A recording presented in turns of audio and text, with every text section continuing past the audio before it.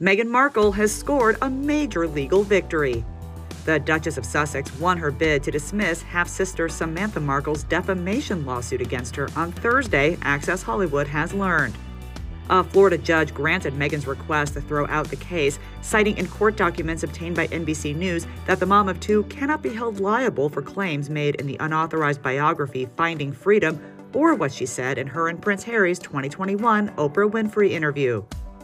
Per the docs, U.S. District Attorney Judge Charlene Edwards Honeywell determined that Meghan's statement to Oprah that she, quote, grew up as an only child is protected opinion and that she also isn't legally responsible for content in a book she did not publish herself. Samantha filed her lawsuit in 2022 and asked for $75,000 in damages, according to the BBC, reportedly alleging that Meghan had exposed her to, quote, humiliation, shame, and hatred on a worldwide scale and misrepresented their relationship. The latest development comes months after Prince Harry's own explosive memoir, Spare, which contained multiple personal revelations and took digs at the royal family. Access Hollywood previously spoke with DailyMail.com's Charlie Lankston, who broke down some of the book's biggest bombshells. The way that Prince Harry frames the story of losing his virginity is recalling an encounter with one of his royal bodyguards who paid him a visit at Eton and said that he had been sent there to find out the truth.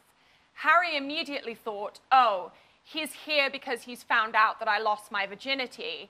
He then proceeds to recount what he says was the humiliating experience of his first time having sex.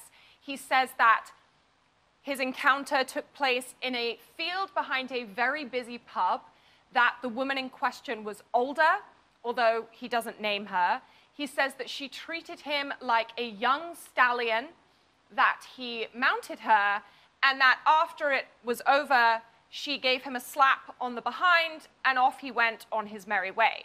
Now, he says that it was humiliating. He says that it was incredibly foolish because it took place in such a public area, and he was convinced that someone must have seen it happening. As it turns out, the bodyguard in question had been sent to Harry's school to ask whether Harry had been doing drugs, but Harry took that opportunity in the book to share a very intimate moment with what will no doubt be millions of readers across the world. I can't believe he's sharing all of this. I think the truth of the matter is this book is really, as far as Harry is concerned, this book is the first opportunity that he has had to share his story. Now, we've seen Harry and Meghan doing multiple joint projects the Oprah interview, the Netflix series, the future Invictus Games documentary. But at no point has Harry really been given the opportunity to tell his side or his recollection of events from his childhood until now. And I think in some ways, this experience of writing the book will have been something of a floodgate moment for Harry, where once he started, he just couldn't stop. And you have to keep in mind, he also received multi millions of dollars for writing this book and the publishers were not going to accept a retelling of the story that he's told multiple times. This book needed to have personal details in it that could not be found anywhere else. And the story of Harry losing his virginity is exactly the kind of moments that the publishers will have wanted from him. And he delivered. Um, let's talk about the new details on the feud between Meghan and Kate. Harry says Kate had baby brain. Can you explain the context of that, what happened, and why Meghan allegedly said that? The argument that took place between Meghan and Kate in the lead up to the Sussex's wedding in May 2018 is something that by this point, the majority of people know about. It's become a she said, she said situation. It was first reported that Meghan had made Kate cry Meghan then said during her Oprah interview that no, it was actually the other way around, that Kate had in fact made her cry. After that, it was reported again that no, it was in fact Meghan who made Kate cry over an argument about bridesmaids' dresses.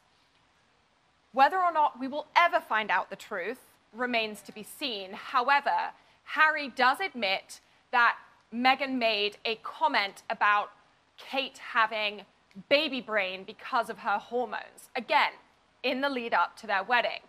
Understandably, this comment really upset Kate, and Meghan was actually reprimanded by someone inside the palace who told her that she was not close enough to Kate to be joking about her hormones. Meghan found that encounter upsetting for her part. I think the reality about this whole controversy is that the two women were never bosom buddies, they were never best friends. And to hear it from sources who are close to Kate, she did all that she could to welcome Meghan into the royal family and to really show her the ropes, to kind of indicate to her best practices, as it were, the best practices of being a new member of the royal family. As far as Meghan is concerned, Kate did not give her enough support and didn't really treat her like a sister-in-law. She was more like a kind of, you know, person who was making sure that Meghan was following the rules. So I think the truth of the matter is the two women were never really on the same side, nor were they really on the same page. And this anecdote just indicates that once again. Harry basically says Meghan made what she thought was a joke. Kate didn't take it to be a joke, and Meghan was the one who was reprimanded.